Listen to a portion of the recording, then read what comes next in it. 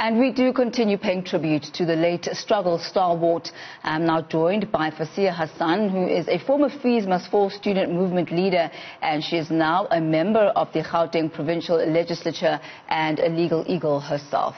Uh, good to have you with us once again, uh, Fasan. I mean, you and uh, the late uh, Bizos have a lot in common.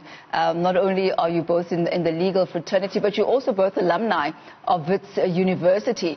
If you could tell us about the encounters that you have had uh, with the late uh, George Bizos in your sphere and the type of impact that he made on you.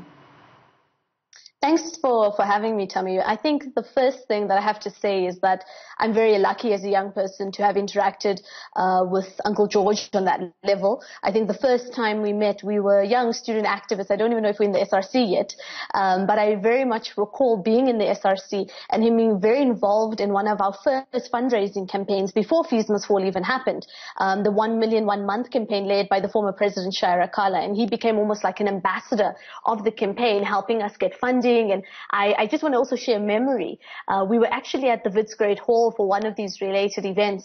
And he says to us, you know, we're like these starry-eyed young activists. And he points to the one side of, of the Great Hall and he says, I remember very clearly when the security branch came in and they were looking for us.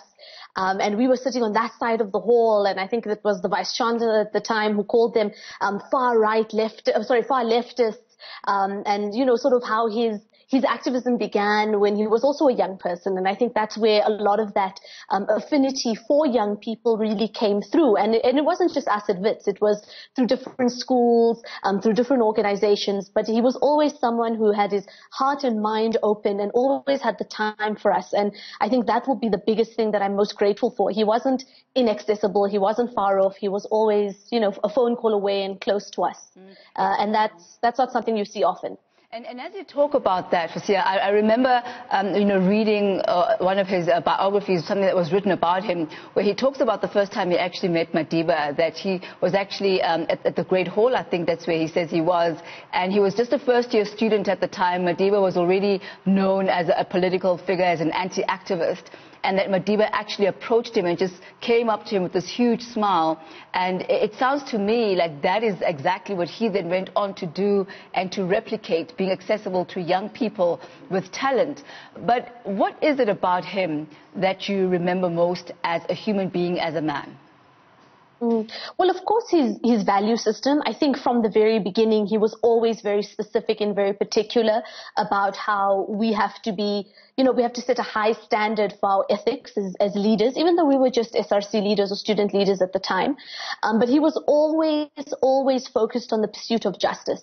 Um, and whether that was fundraising for students who had nothing, uh, whether that was defending, um, as a lawyer, different anti-apartheid activists, whether it was even as recently as a few years ago in the LRC.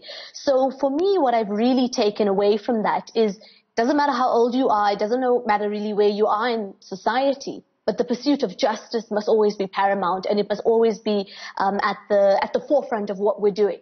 Um, and if there's anything I can learn from him also, you know, as as, a, as I finished my law degree, I could technically be a lawyer, but how to use the skills that we have to better society, you know, um, about that collective interest, not the individual. Um, and that's really something that I think a lot of us could really do a lot more with, especially society as a whole. Fasiha, great chatting to you, and thank you so much. Uh, truly, uh, as you say, you are one of the lucky ones who has managed to be somewhat mentored by the late George Bizos. Uh, that's uh, Fasiha Hassan there.